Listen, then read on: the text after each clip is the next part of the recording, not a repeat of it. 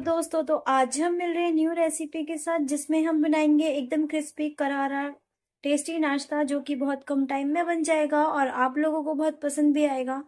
तो आप भी बना के ट्राई ज़रूर कीजिए। तो नाश्ता बनाने के लिए मैंने ले लिया है एक कटोरी गेहूँ का आटा और एक कटोरी मैंने ले लिया है मैदा। आप चाहें तो गेहूँ के आटे से भी बना सकते हैं सिर्फ़, और चाहे तो आप सिर्फ़ मैदा से भी बना सकते हैं। सबसे पहले हमें आटा गूंथ लेना है तो उसके लिए एक बड़ा बर्तन ले लेंगे। ये बड़ा बर्तन मैंने ले लिया है, इसमें हमें आटा डाल लेना है दोनों। और इसमें हम स्वाद अनुसार नमक डाल देना है। और अब इसमें हम डाल देंगे एक बड़ा चम्मच ऑयल और आप इस नाश्ते को और हेल्दी बनाना चाहते हैं तो आप इसे सिर्फ़ गेहूँ के आटे से भी बना सकते हैं। और अब इन सब चीज़ों को हमें इसमें मिक्स कर लेना है अच्छे से।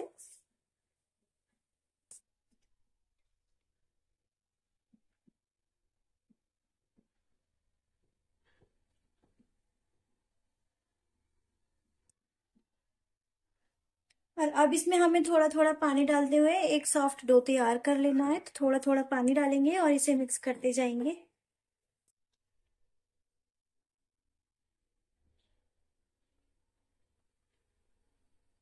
आप देख सकते हैं। डो मैंने बना के तैयार कर लिया है। बिल्कुल सॉफ्ट है, देख सकते हैं आप। और अब इसे हमें 10 से 15 मिनट के लिए ढक के रख देना है। और जब तक इसको हम रेस्ट करने के लिए रखेंगे, इतने हम हमारी आलू की स्टफिंग तैयार कर आलू की स्टफिंग बनाने के लिए मैंने ले लिए हैं चार से पाँच मीडियम साइज़ के उबले हुए आलू। और इनको हमें कद्दूकस कर लेना है। आप चाहें तो मैशर से मैश भी कर सकते हैं अच्छे से। और अब एक प्लेट ले लेंगे। और एक कद्दूकस ले लेना है। सारे आलू हमें इसमें अच्छे से कद्दूकस कर लेने हैं।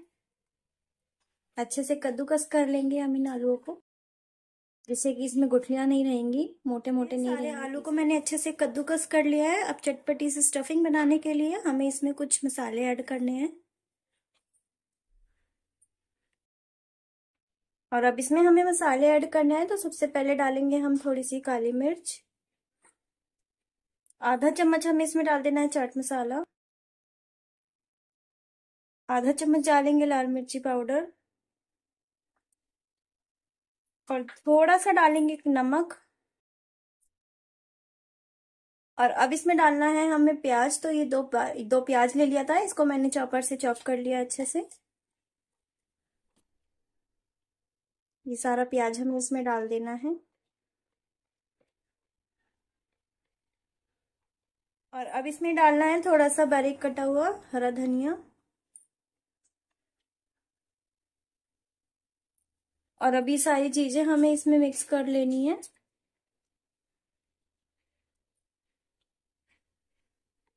सारे मसाले इसमें अच्छे से मिक्स कर लेंगे।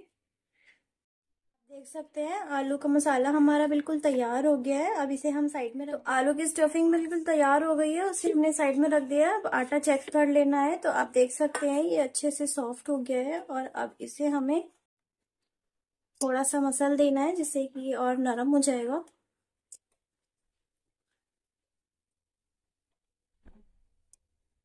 और अब हमें हमारा आटा ले लेना है और इसको साइड रख देंगे। नीचे डालेंगे थोड़ा सा सूखा आटा। और इसे हमें लंबा लंबा कर लेना है इसमें।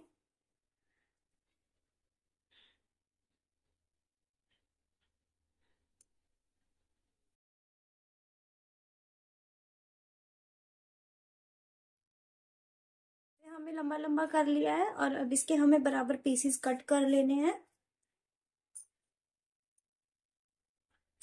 सबके बराबर पीसीज हम कट कर लेंगे।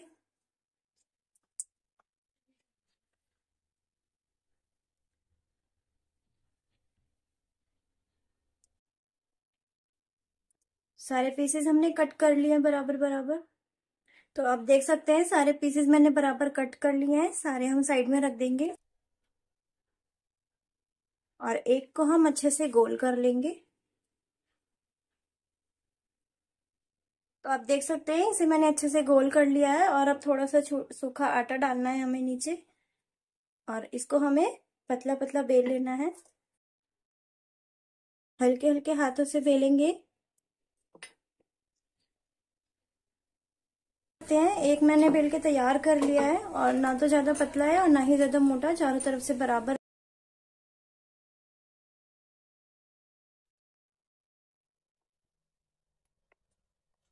रखना है और इसी तरह सारे बेल के तैयार कर लेने हैं और तवा गरम रख देना है। एक तवा गरम रख देना है और एक एक करके हमें रोटी इस पे डालनी है। तो एक एक करके रोटी हम इस पे डाल देंगे। फ्लेम हमें रखना है मीडियम और इसे हमें हल्के बबल्स आने तक सेक लेना है।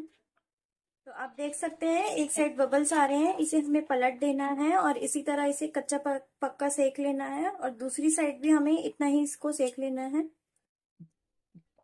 तो आप देख सकते हैं, दूसरी साइड से भी अच्छे से सीख गया है। इसे हमें प्लेट में निकाल लेना है और इसी तरह हमें इस पे दूसरा डाल देना है।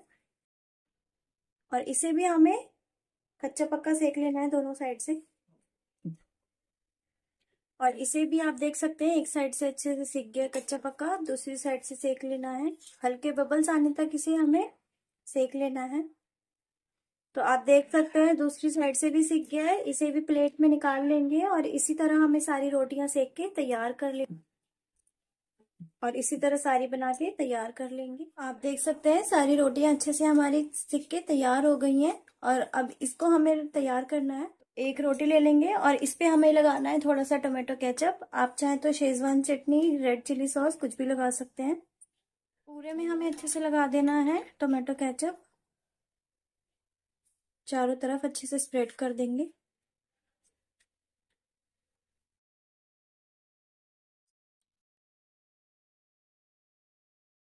तो आप देख सकते हैं, पूरे में अच्छे से लगा दिया मैंने। अब हमने जो आलू की स्टफिंग तैयार की थी, वो हमें ले लेनी है। थोड़ी सी ले लेंगे स्टफिंग और इसकी एक साइड में लगा देना है। पूरे में नहीं लगाना है, एक ही साइड पे लगाना है अच्छे से।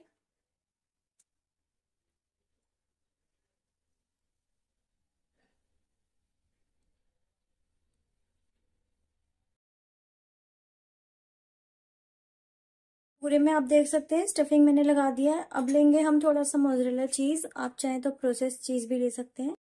तो डाल देंगे अच्छे से इसमें। अब इसकी क्वांटिटी अपने हिसाब से रख सकते हैं, कम ज़्यादा। और अब इसे हमें फोल्ड कर देना है।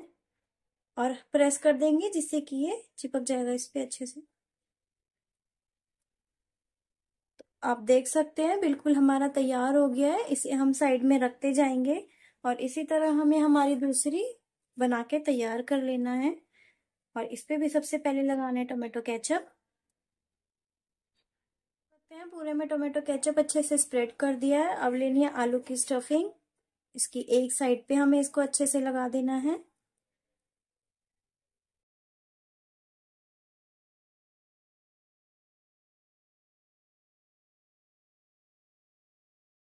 स्टफिंग मैंने अच्छे से लगा दी है। अब लेनी है थोड़ी सी चीज़ और इसे पूरे में अच्छे से डाल देना है।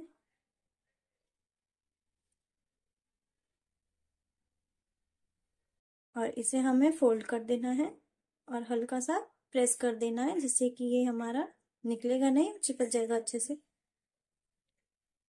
तो आप देख सकते हैं, ये बनके हमारा तैयार हो गया है दूसरा भी और इसी तरह हमें सारे बना के तैयार कर लेने हैं। आप देख सकते हैं, मैंने ये बना के तैयार कर लिए हैं। अच्छे से स्टफिंग भर दी है, बहुत टेस्टी बने हैं। और अब हमें गैस पे एक पैन या तवा गरम रख देना है। और मैंने एक तवा गरम रख दिया है और इसे हमें अच्छे से गरम होने के बाद इस पे पूरे में अच्छे से बटर लगा देंगे। आप चाहें तो ऑयल भी लगा सकते हैं। और अब एक रोटी हमें लेनी है। और अब इस पे हमें रोटी रख देनी है हमारी। तो एक बार में दो आएँगी, मैं दो रख दूँगी इस पे। और इसे हमें एक साइड से अच्छे से सिकने देना है। फ्लेम हमें मीडियम रखना है, जिससे कि अच्छे से क्रिस्पी हो जाएँगी ये। थोड़ी करारी बनेंगी और हल्का हल्का प्रेस कर देंगे।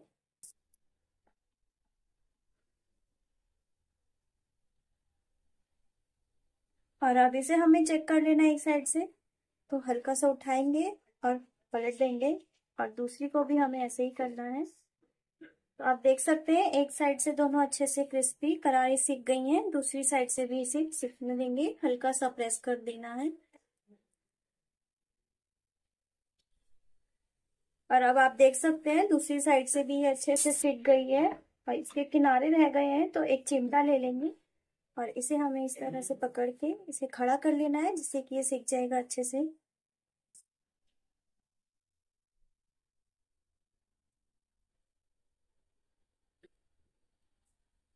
सीख गया है, दूसरे को भी हमें इसी तरह करना है। तो आप देख सकते हैं, ये भी एक साइड से सीख गया है। अब इसे हमें खड़ा करके और पकड़ लेना है, जिससे कि ये इस साइड से अच्छे से सीख जाएगा। दोनों को एक साथ पकड़ लेंगे, जिससे कि दोनों हमारी अच्छे से सीख जाएँगी।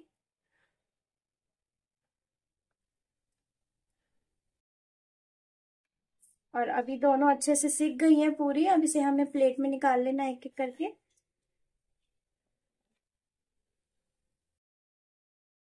दोनों प्लेट में निकालेंगे और जो बची हुई है, वो भी हमें सेक लेनी है। तो सबसे पहले लगाएँगे बटर अच्छे से। और बची हुई रोटियों, इस पे रख देंगे दोनों।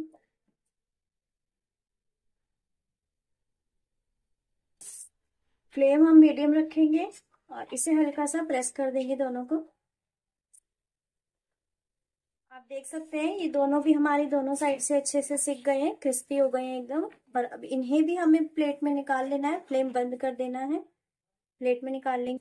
तो आप देख सकते हैं, हमारा मैदा और आटे का नाश्ता बनके तैयार हो गया है। बहुत कम टाइम लगा, बहुत टेस्टी बना है, बहुत क्रिस्पी बना है। आप देख सकते हैं स्टफिंग कितनी ज़्यादा टेस्टी दिख रही है और खाने में भी बहुत ज़्यादा टेस्टी है। आप भी बना के ट्राई ज़रूर कीजिए और अगर आपको मेरी रेसिपी पसंद आए तो प्लीज़ वीडियो को लाइक करें कमेंट करें शेयर करें चैनल को सब्सक्राइब कर दें बेल आइकन को ज़रूर प्रेस करें जिससे कि आपको मेरी वीडियो का नोटिफिकेशन सबसे पहले मिल जाएगा।